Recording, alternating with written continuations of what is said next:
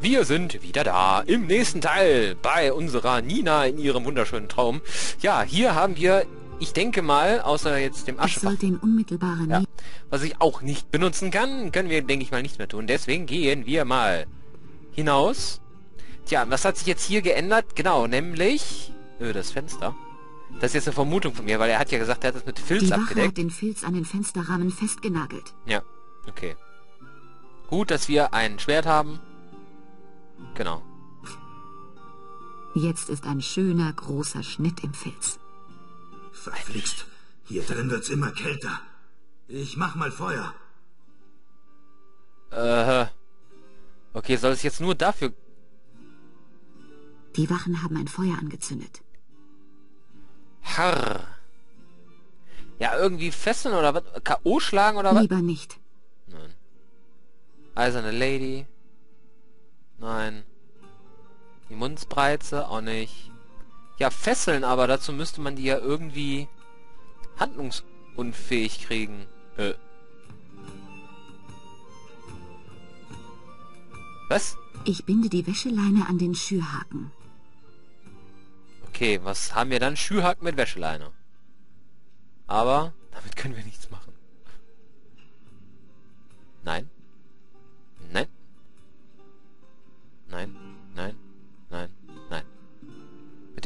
Hallo, ich rufe die jetzt an.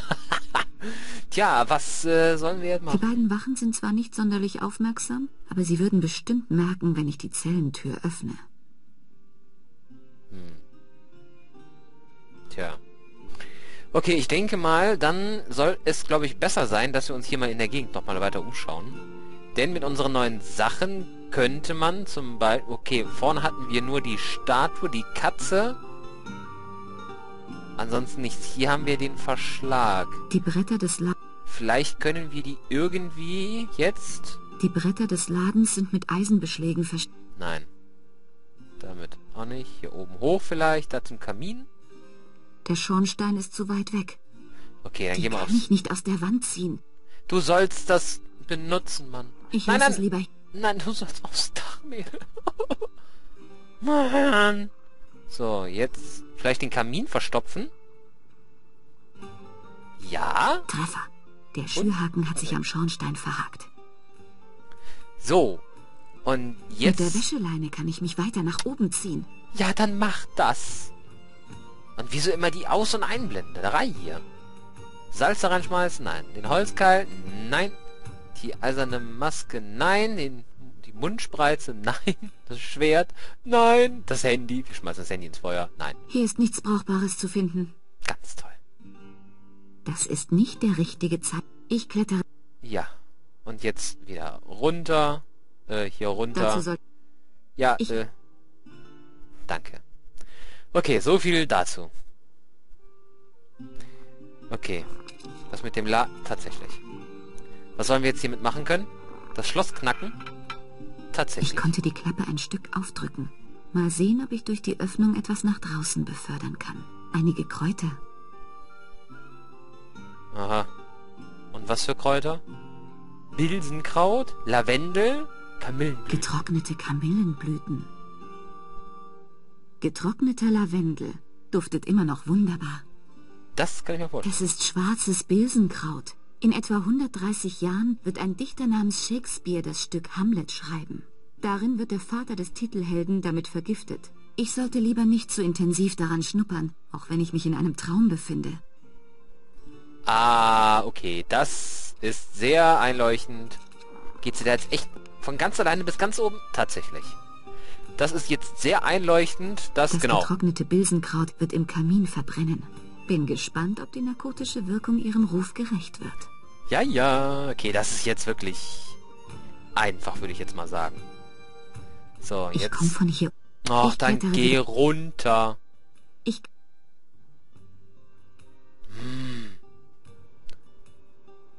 Ja, komm, Mädel. Tatsächlich. Sie schlafen den Schlaf der Gerechten. Oder so ähnlich. Okay, dann hinein. Ohne Schlüssel wird es schwierig, die Tür zu öffnen. Ich Aber es ist auch nicht unmöglich. Die Tür hängt auf oben offenen Scharnieren. Aschefach? Moment, ist da vielleicht was drin? Ich nehme etwas von der Asche mit. Aha.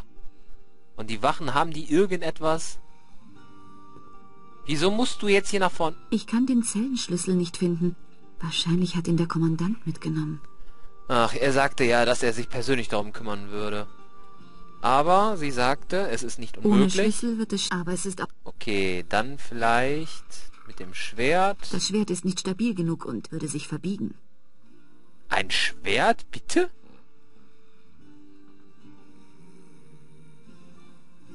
Äh, Schwarze Asche. tja.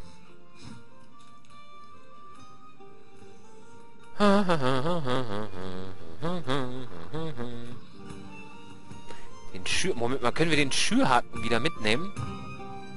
Wieso wird die Melodie jetzt lauter? Da, sie setzt an und... Nina? Nein, den... Ich nehme das wieder mit und binde die Wäscheleine vom Schürhaken los. Tatsächlich. Haben wir jetzt aber... Ja, genau. Ich klepp... Ich klettere wieder runter. Ja, das habe ich dir gesagt. Wenn ich dir das sage, brauchst du mir das nicht wieder sagen. So. Den Schürhaken mit... Ich wusste es. Das ist echt Der gemein. Schürhaken ist lang und stabil, aber ich brauche einen Ansatzpunkt, um die Tür aus den Angeln heben zu können. Macht das auch noch. Ich binde die Wäsche... Nein. Ich binde die Wäscheleine vom Schürhaken los. Okay. Hm. Der Schürhaken ist lang und stabil, aber ich brauche einen Ansatzpunkt, um die Tür aus den Angeln heben zu können. Was ist mit dem Holzgeil? Vielleicht da drunter legen? Nein. In die Vertiefung? Der Holzkeil passt genau in die Vertiefung. Ach so, damit... Ja, okay. Moment. Mit dem Keil als Auflage kann ich den Schürhaken benutzen, um die Tür aus den Angeln zu heben. Ja, da wird sie sich wahrscheinlich jetzt... Genau. Den da drauf und dann... Okay, der Keil fehlte jetzt bei ihr in der Hand, aber okay. Geschafft. An Nasir. Nasi? okay, schauen wir uns erstmal um. Okay, sie sagt den ganzen Eimer ein. Ich hatte jetzt eigentlich nur gedacht reinzugucken, aber okay. Nina, Nina, Nina, Nina. Di, di, di, di, di. Gibt es hier sonst irgendetwas? Nein. Okay, dann weg mal. Ich muss ihm zur Flucht verhelfen und ihm dann zum Käufer der Amphore folgen. Leider kann er mich nicht hören, sonst würde ich ihn durch Zurufen wecken. Och nee. Was ist hier mit den... Ja, Davon wird er kaum aufwachen. nicht?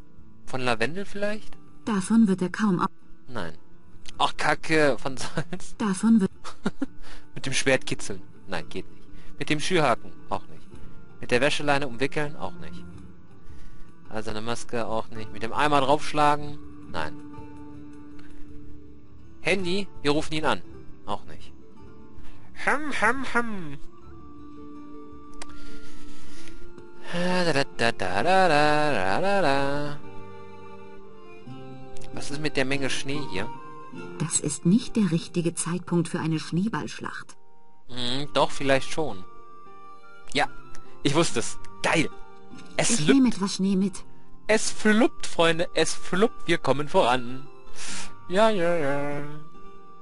Jetzt wieder hier rein.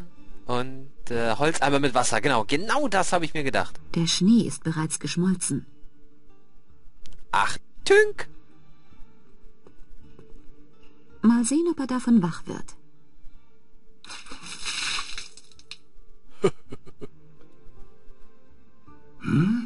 Was war das? Wieso ist die Tür auf? Bei Allah, was geht hier vor? Der Prophet scheint mir gnädig zu sein, also sollte ich die Gelegenheit nutzen. Denn die Welt gehört dem, der handelt. Jetzt müsste er mich direkt zum Käufer der Amphore führen, weil er sein Geld holen will. Ich darf nur den Anschluss nicht verlieren. Ja, dann beweg dich. Ach, jetzt rennst du auf einmal da rein. Mist, er ist mir entwischt. Der Oh. Kerl ist gerannt, als wäre der Leibhaftige hinter ihm her. Was soll ich nur tun? Die Chancen, An-Nasir zufällig zu finden, wenn ich blind einen der Ausgänge wähle, sind sehr gering. Wenn ich doch noch mal von vorn... Ah, nee, ist klar. Das geht auf einmal. Wow, dieser Traum ist echt merkwürdig. Anscheinend befinde ich mich jetzt wieder einige Augenblicke vor dem Start der missglückten Verfolgung des Händlers. Also schön, zweiter Versuch. Diesmal sollte ich mir aber vorher überlegen, wie ich seine Spur wiederfinden kann, nachdem er mir entwischt. Äh? Der arme Kerl. Die Wachen werden ihn töten. Ich muss ihm zur Flucht verhelfen und dabei herausfinden, an wen er die Amphore verkauft hat. Hä? Moment mal, also sie kann die Zeit zurückdrehen, aber sie kann nicht durch Wände gehen. Und wenn es ihr... Ach, das ist alles so frustrierend. Da haben sich die Entwickler wirklich einen richtigen schönen Gau geleistet. Können wir jetzt hier in die schmale Gasse? Tatsächlich, wir können in die schmale Gasse.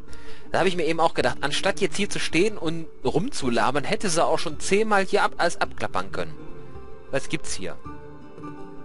Der Laden eines Fischhändlers hätte mir aber auch meine feine Nase verraten. Ein Schild. Da steht keine Straßenmusikanten nach Einbruch der Dunkelheit. Die Bremer Stadtmusikanten. Okay, Müll, der allseits Die bekannte. Kartoffel und den Kohlkopf nehme ich mit. Dachte ich mir. Ich will mich nicht ausruhen. Eine kleine Holzbank. Eine kleine Holzbank. Ah, da schau her. Sonst noch was hier? Wir können nicht in die Fenster gucken. Hier gibt es nur noch die Durchgänge. Okay, wir fangen Noch links weiß ich an. nicht, durch welchen der Ausgänge An-Nasir flüchten wird. Und Oh. bevor ich das nicht herausgefunden habe, sollte ich mich nicht ziellos ins Gewirr der engen und verwinkelten Gassen stürzen. Ich würde mich sicher total verlaufen. Ja, Noch weiß ich nicht, durch welchen... Und bevor Ja. ich das... Noch weiß ich... Und ganz toll. Also müssen wir die Ausgänge jetzt hier markieren, oder was? Den Kohl oder was? Nee. Die Kartoffel, die faule. Faule Kartoffel. Holzarme mit Wasser. Okay, das muss ich mir verkneifen. Die Wäscheleine irgendwie spannen. Nein. Tja, ansonsten alles andere macht doch keinen Sinn. Hier den Salz vielleicht.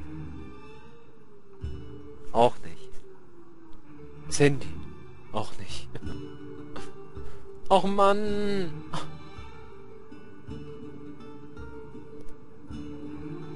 Das Schild macht mich stutzig. Da ein steht bisschen. keine Straßenmusikanten nach Einbruch der Dunkelheit. Hm. Sie hat doch vorhin, vorhin ist gut, im letzten Teil gesagt mit den Klingeltönen. Was passt tatsächlich? Selbst in diesem total verrückten Traum ist es unsinnig, jemanden anzurufen. Damals Okay. hatte noch niemand ein Mobiltelefon. Aber ich kann mit einem der Klingeltöne den Anwohnern hier einen kleinen Vorgeschmack auf moderne Mm. Zeiten geben. Genau das war... Was soll das? Hast du das Schild nicht gelesen? Hier wollen Leute schlafen. Verschwinde! Äh. Natürlich. Erstmal, dass es ein absolut grottenschlechter Klingelton war. Zweitens, wenn er denn schlafen wollen würde. Warum ist er da? Okay, ich... okay, wir haben... Mut, dat Mut. hat Mut, hat Mut. Wie man auf Friesischen sagen würde. Fischabfälle. Der Fischgestank könnte sogar tote Katzen anlocken. Katze natürlich, meine kleine miese Katze. Moment. Zum Marktplatz. Ich hab was zu essen für dich. Kleine miese Katze. Tatsächlich. Sie sieht zwar hungrig aus, aber füttern will ich sie eigentlich nicht. Hä? Äh. Ansonsten mit irgendwas anderem benutzen. Was wir dann der Katze geben können. Natürlich nicht.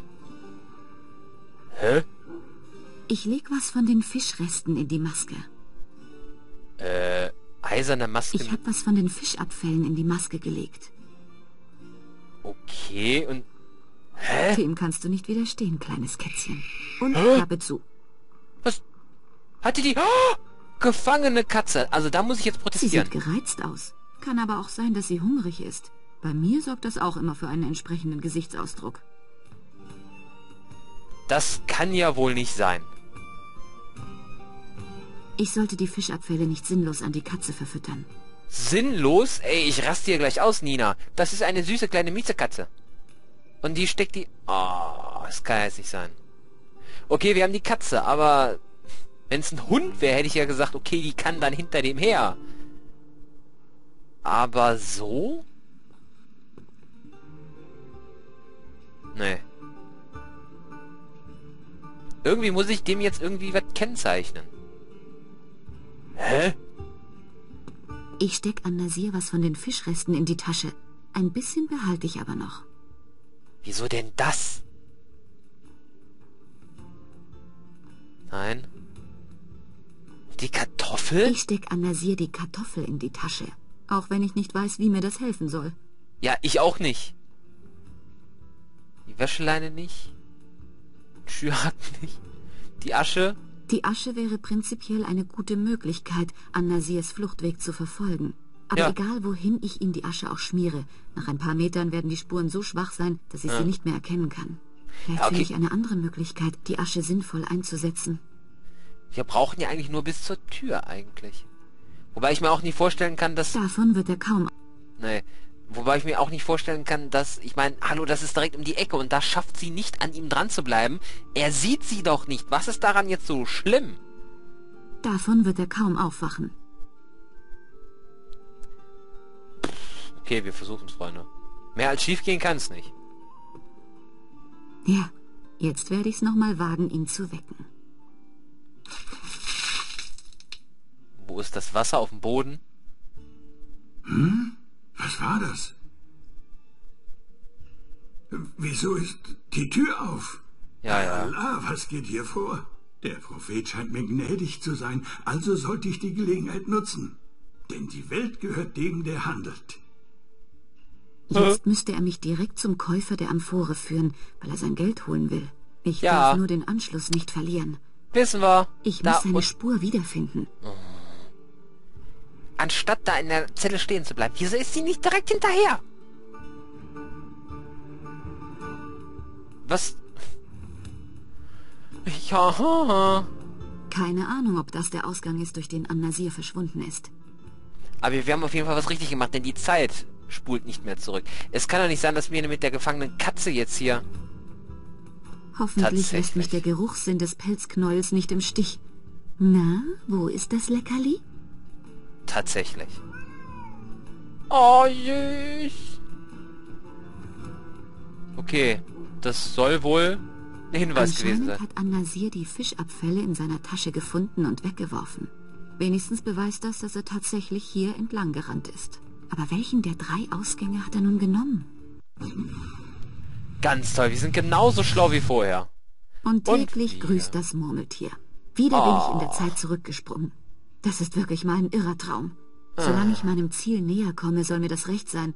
Ich kenne ja nun zumindest den ersten Teil von Anasias Fluchtweg, der mich zu Amphora aus Alexandria führen soll. Jetzt muss ich mir was einfallen lassen, um Anasia auch in der zweiten Gasse nicht aus den Augen zu verlieren. Oh, ist doch nicht wahr. The same procedure as vorhin. Aber ich denke mal, dass wir jetzt nicht nur durch die schmale Gasse... Können wir vielleicht auch da lang?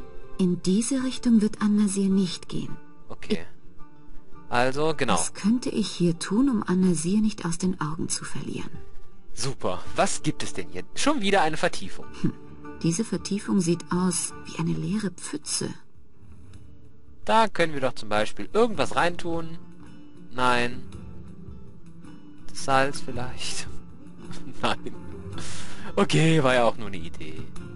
Ausgang, Vertiefung, Vertiefung. Hier überall Diese Vertiefung sieht aus, wie eine Pfütze. noch weiß ich nicht. Und bevor ich... Weiß sie nicht, will sie nicht, macht sie nicht. Da ist eine Leiter. Okay, die können wir uns nehmen.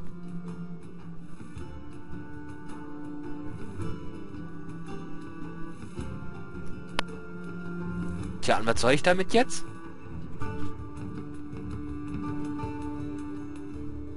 Irgendwas damit benutzen? Nein. Nein, nein, nein. Gut, also die Frage, was sollen wir hier Diese machen? Vertiefung sieht aus wie eine leere Pfütze. Hm.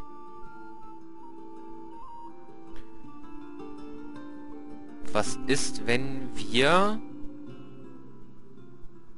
da Wasser reintun und der dann ausrutscht? Oh, oh, oh. Jetzt muss ich nur ein Weilchen warten. Ja, ja, ja, ja, ja, ja. Das ist aber hm, einige Minuten vor allem. Mit einem Handgriff. Das Wasser ist gefroren und schon Ja. haben wir eine spiegelglatte Eisfläche über die ganze Breite der Gasse. Ja, ja, ja. Spiegelglatt. Spiegelglatt. Genau, mit einer Handbewegung eine Fläche, die so groß ist wie ein Fußballfeld, mal eben unter Wasser gesetzt. mit einem Eimer, wo vielleicht, hm, vielleicht zwei, drei Liter reinpassen?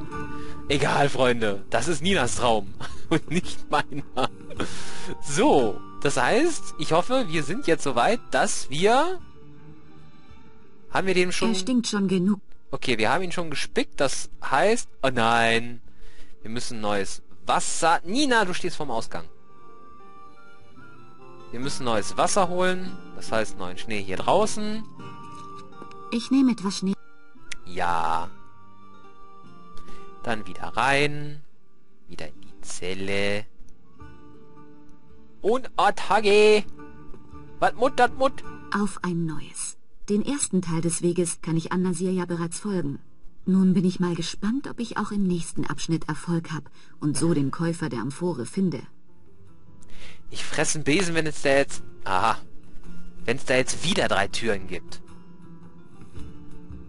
Und man hat nur gesehen, dass er hier reingelaufen ist. Man hat nicht gesehen, ob er wirklich ausgerutscht ist. Sehr interessant. Überraschung. Oh. An-Nasir ist durch einen der Durchgänge verschwunden und hat artig das Tor hinter sich geschlossen. Oh, es kann doch nicht sein. Also schön. Wiederholen wir das Katz-und-Maus-Spiel ein weiteres Mal. Diesmal muss ich herausfinden, durch welches der drei Tore im Innenhof An-Nasir verschwindet. Super. Freunde, aber das machen wir erst im nächsten Teil. Boah. Ich bin gespannt, wie lange das Spiel, das dieses Spiel mit uns spielt. Den Satz muss man sich auf der Zunge zergehen lassen. Bis zum nächsten Mal dann. NRW bei 18. Adieu.